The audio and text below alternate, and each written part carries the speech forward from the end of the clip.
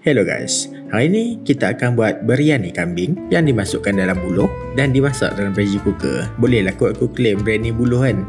Jangan risau, biryani yang aku buat ni memang gam. Memang kalau hampa ikut pun, hampa pun ikut gam. Dia tak ada lah khayal, dia cuma mengantuk. So kalau hampa nak masak buat buka puasa, boleh. Tapi tak recommend lah sebab nak pergi tarawih kan. okay lanjut kita mula. First, kita akan potong bawang untuk buat dia punya bawang goreng. Nasi biryani ni perlukan banyak bawang goreng. Macam aku buat portion 4 orang ni, aku perlukan dalam 2 biji bawang besar. Nak buat lebih pun tak apa sebab sebahagian daripada bawang goreng ni kita akan letak dalam marinade dan sebahagian lagi kita akan letak atas nasi. Tips untuk bagi bawang goreng ni garing, hampa kena tuang dulu minyak, masukkan bawang, baru buka api. Api tu pun buka slow saja, jangan nerah sangat. Slow and low orang panggil kacau-kacau sikit tapi bukan sikit lah banyak jugalah kena kacau sebab kita nak kegaringan dia rata tak maulah kita punya bawang goreng tu belah ni lembut yang belah ni keras yang belah ni hangit tak, tak mau tu Lepas 5 minit menggoreng, hampa akan dapat bawang goreng yang layu macam ni. Jangan risau, tak ada silap apa pun. Hampa kena bagi dia perang sikit lagi saja. Jangan bagi nampak ping-ping sangat. Ha, baru angkat. Letaklah atas tisu ataupun atas kertas serap minyak dan hampa ratakan dia. Jangan bagi dia tindih tau sebab moisture akan terperangkap bawah dia tu so dia tak crispy sangat lah so macam ni lah bunyi bawang goreng kalau ikut cakap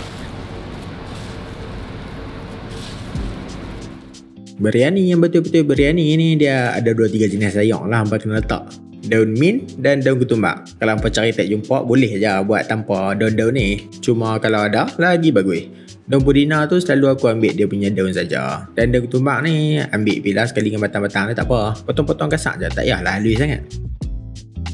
Okey, untuk bahan basah kambing tu kita akan pakai dalam setengah biji bawang putih, dalam 3 inci halia dan setengah genggam cili api. Untuk bagi blender tu jalan, letaklah sikit minyak ataupun air ataupun apa-apa liquid dan ya sirap bandung cincau tak boleh. Blend dia sampai lumat sampai tak nampak rupa lah orang cakap. Dia akan jadi smooth paste macam tu untuk kita letak atas kita punya kambing. Cuma kambing tu basuh dulu lah, janganlah potong sangat. Untuk dia punya rempah kering, kita akan pakai dalam 3 sudu serabut biryani. Nak letak lebih tak apa sebab kita memang nak buat nasi biryani. Next kita letak 1 sudu serabut kaskas nak bagi dia khayai. 1 sudu serabut cili nak bagi dia pedas-pedas sikit. Setengah sudu serabut ketumbak dan setengah sudu serabut jintan manis. Garam ni apa letak dulu setengah sudu sebab bila dah masak nanti apa boleh ejah lagi. Jangan biasakan letak garam semua bok. Untuk yogurt ni aku letak dalam 3 sudu besar. Nak letak lebih sikit tak apa sebab dia akan end up jadi kuah. Bawang goreng kita ni yang ramah sikit. Tak faham juga siapa tapi selalu aku tengok YouTuber Indian pun buat macam tu. So aku, aku pun ikut lah. Aku rasa terefek pun. Next kita masukkan kita punya daun pudina dan daun tumbak. Lepas tu kacau-kacau. Ha, kambing ni apa boleh je perak dalam sejam ataupun apa boleh masukkan tu dalam pressure cooker macam aku. Aku sebenarnya pemalas nak masak lama-lama ni bukan style aku lah. So pressure cooker ni sangat-sangat membantu. Nak masak ni aku tak letak ayak pun sebab kambing tu dah ada ayak dah sendiri. Aku just tekan-tekan dia punya preset dan biar lah sampai dia masak. Kalau nak masak dalam slow cooker ataupun nak pok lama, boleh tu boleh. Tapi lambat. Okay next. Cara kita nak masak berabas mati ni kan? Yang paling betul-betul lah cara orang India masak. Dia tak masak nasi tu dengan lauk. Dia pun rebuih nasi tu sampai dia dekat-dekat nak masak. Macam pasta al dente Dia tak fully masak. Dia sikit lagi nak masak. Ha, Ni dia macam al dente Tapi untuk beras Aku pun tak tahu bahasa Melayu ada vocab dah untuk tu. Takkanlah aku nak panggil masak beras Sampai dia sikit lagi masak. Takkan macam tu. Kalau aku sebut rebuih beras sampai al dente Dengar macam small sikit. Macam culture macam tu. Anyway Hampa kena tapis beras tu. Jangan duk tinggal layak lah Nanti jadi bubuk untuk resipi biryani kambing hari ni Aku akan finish dia dalam buluh. Sajalah aku try nak buat kelainan. Sambil tu aku nak tahu juga Rasa dia akan berubah ke kalau buat dalam buluh eh. By the way buluh ni aku beli kat Shopee. Kalau hampa nak Aku akan share link kat bawah. Tak faham mana pun. Lepas tu dia bagi 10 batang Cute-cute macam ni Dia potong. Potongan dia memang khas untuk pressure cooker Ataupun periuk kukui Kokot lah nak buat juga resipi ni. Ikut sebiji-sebiji. Ha, Boleh lah try beli. Nampaknya lah daging kita pun dah siap Tengok sekali nampak macam okey. Tapi try lah cucuk-cucuk Kokot lah tak lembut lagi. Untuk stage ni Hampa kena perasakan dia pergi cukup. Betul-betul cukup. Jangan kurang masin Jangan terlebih masin Sebab nasi kita pun dah masin sikit lah. Macam yang ni Aku just letak sedikit gula Dan sedikit perancah hilal.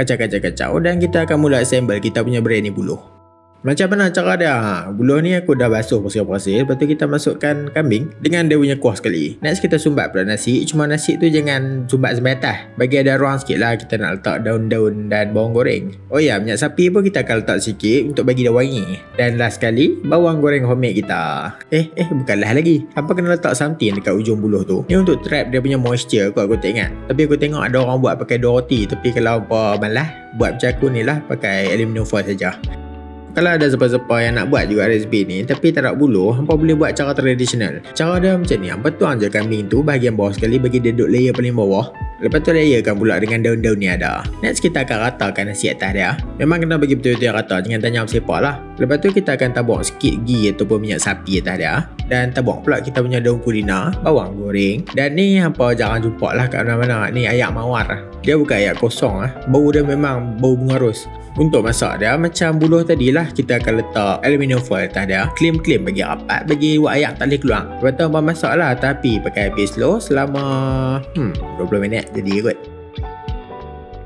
So, nasi biryani kambing buluh ni aku akan masak dalam pressure cooker. Just pastikan bahawa punya pressure cooker tu cukup besar lah. Kadang-kadang tak muat. Eh, kalau aku boleh menyelarang dalam rumah ni memang aku buat dah.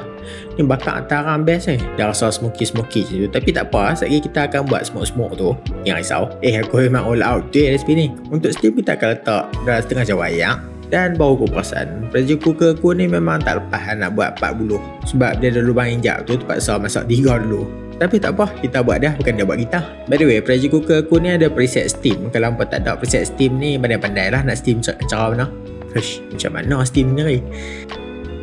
So macam aku kata, nasi ni kita akan smoke juga. Cuma aku akan pakai arang bukhor untuk smoke dia ni. Sebab apa? Sebab arang bukhor ni murah. Lepas tu dia wangi sikit. Lepas tu dia main dalam paket kecil lah. Dia senang lah nak pakai.